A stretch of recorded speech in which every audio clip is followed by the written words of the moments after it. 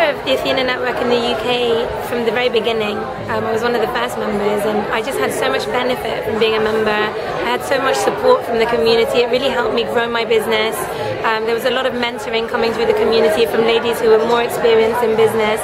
Um, so I just had so much benefit myself. I was really passionate about the network. Um, I actually arrived in Singapore. I was I was eight months pregnant with my third son.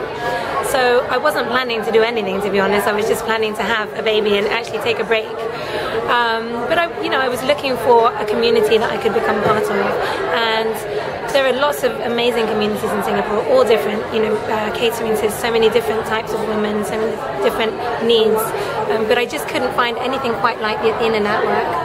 Now, when you say different, mm. you know. Uh, what actually appealed to you to join Athena Network in the beginning back in the UK? Because you were one of the founding members. I mean, when the Athena Network launched in the UK, it was actually a very, um, it was very early, so there wasn't a lot of female networking. And the networking um, group was founded by a lady who couldn't really fit into the traditional networking because she had kids and she was rushing and, and, and certainly networking tends to be very male dominated a lot of the time. Um, so she just wanted to create a network that was a little bit different and it was focused on women um, and to teach women how to network more effectively. And I thought that that was really important because we do so much networking, even if we don't realize it. If you actually think about it, we spend a lot of our day networking. Um, so if you're not actually learning how to strategically network and how to make sure that you're networking to reach whatever your goals are, um, then I think you know it's, it's a bit of a time waster, or it can be a time waster. And I also realised that there's a lot of ladies who don't actually understand just simple strategies to make networking a little bit easier. If you're a bit shy or you're a little bit uh, inexperienced, then there's just simple tools and skills that you can use to make that easier for you. So that I think that is our key differentiator because we really help women network more effectively. Now, what is uh, Anitha uh, all about? is there a, a, representation behind the name Anitha? Why do you choose the name Anitha? Athena. Yeah. Athena. Um, well, it was actually um, a brand that was brought in um, in the UK after the network originally launched as a women's business network, and um, it's actually um, Athena is the goddess of, of war and wisdom. Um, so I think you know it's a very strong brand um, that just says that as women, you know, we have to be willing to, uh, you know, drive our businesses to be strong, to be leaders, um, but also you know sort of use wisdom behind us and knowledge rather than um, the traditional sort of male uh, leadership. And speaker said today, talking about the Athena doctrine, um, it's definitely the type of leadership that is seeming to be building a lot more traction as we move forward. So, uh, you know, Athena is the icon for female leadership, I think. And what will be your key strategies in building leadership skills uh, for the women here in Asia and even perhaps throughout the world?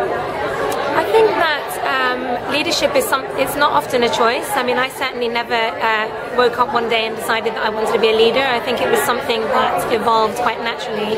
Um, so i you know i started with a small group and i just wanted to make a difference. I just wanted to make a difference for a small group of people. Um, and it just so happened that um, the difference it made for them was significant enough for them to go out and uh, tell their friends and continue to. So i sort of became an, a leader by accident um, and i think leadership for me is more about stepping up um, and to the challenges, you know, and accepting that this is a role that I need to do, at least for now, um, just to get things started. Um, and, you know, I, I, think that, that true leadership is very much about accepting um, a role that's been given to you as opposed to actually going up and grasping a leadership role. And so now, right now today, after you have started a, a NEFA network here in Singapore uh, and in, in Asia, uh, has it uh, bear fruit beyond your expectations? It's been incredible, actually. It's been a, a, really incredible journey. I mean, we literally started this um, almost two years ago now um, as a coffee morning. It was just supposed to be a you know coffee morning for 10 to 15 women to just share and learn from each other. And um, the very first one, I mean, we only promoted it on Facebook. We had 150 ladies sign up, um, and speakers come to us, uh, members, uh, you know, sharing, spreading the word. We don't really market the network, so it's all done through word of mouth with the members in the existing community. Um, I've been sort of put in the position of um, female leadership that I never expected, so I'm often asked to speak at universities or um, at young leadership events and profiled in magazines. I mean, I never asked for that, I never really wanted it, but um, I think that um, you know, it's all about the network, it's all about the community, and the members who have been part of it have got so much out of it in friendship, in in um, professional development, in skill sharing, in so many ways. So I think that you know I couldn't hope for more, but I think we're just at the beginning. And so, what are, are the three key challenges that you see uh, ahead for the women? Um, well, I mean. Know if there's specific challenges for women or if they're just challenges for anyone who wants to step up into a leadership role. And it's most importantly, I think, as any kind of leader or any kind of entrepreneur, is to make sure that you own your niche, you understand where you're going to make a, an impact, where you want to make an impact, and how you want to change the world, even if it's in a small way. So I think if you focus on that um, and don't dilute what you want to do, um, I think that's a really important way of overcoming, you know, the challenge of, of not finding the right target market, of not having direction. Um, I think also um, just making sure that you stay true to your values. So one of our values at Athena is to add value to our members and to make sure that they're getting a lot out of it and not to dilute um, the experience. And I think, and we get approached a lot of the time by sponsors or advertisers and people who want to um, have commercial arrangements. I have to say no a lot of the time um, because I don't want to dilute the community aspect of what we do and commercialize it too much. So I think, you know, if anything, um, my best sort of my best strategies in my business is to stay true to the values and stay true to what I want to do and what my small change is. And what will be your vision and uh, and, and, the, your next steps uh, for the next five years for Aniva? Um, any any vision for Aniva to expand? Yeah, I mean, I'm all about the vision. um, I, I would love, my vision is to allow more women to become uh, business owners and entrepreneurs and start up businesses.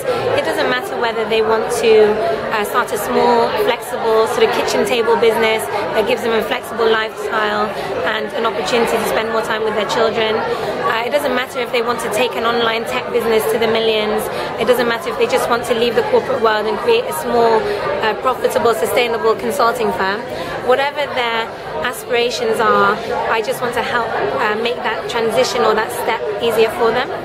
And um, you know, I think that all women, regardless of their location, their geographic um, location, their educational background, or their race, should have access to entrepreneurship.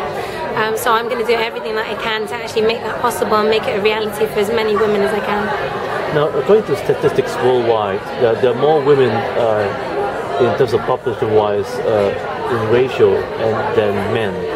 Uh, do you think that uh, women are going to play, play a very important role in leadership in the near future, both in family as well as business, because the ratio has, has changed? Um, well, I think I don't think it's so much about numbers. I think it's really about the qualities of a leader that we're looking for now. And this is, um, you know, one of the really interesting things that we were discussing at the meeting today is all about feminine values in leadership. So that's not to say that a man shouldn't be leading or a woman should be leading. It's just saying that uh, there seems to be a cultural shift occurring where the values of transparency, authenticity, um, even vulnerability in leaders is becoming more important to people um, than sort of the traditional, um, what are seen as the male values, like the strength and the pride and the sort of the um, very uh, strategic focus on growth. You know, it's less aggressive and it's much more collaborative now. Um, so I think that I, I, definitely think that we're seeing a change in the way that leadership um, and leaders are perceived, and I think that that will just open up more opportunities for women um, to step into roles that they may not have previously even wanted to step into. What would be your one key secret of your success today in leading this uh, active role uh, in this wonderful movement, the, the Athena Network? I think most viewers like to know that. Well, I mean, my number one goal and the one thing that keeps me awake at night is to make making sure that our members have a great experience. You know, all I want to do is create a platform where people can be themselves, people can achieve the goals, and they help each other. Um, but you know, from my personal point of view, the reason why I build communities is because I recognize that the most important thing that you can do as a person, as a business person, um, as an entrepreneur, is to surround yourself with people that want to lift you up. um, that want to help you, that want to help each other do more with themselves.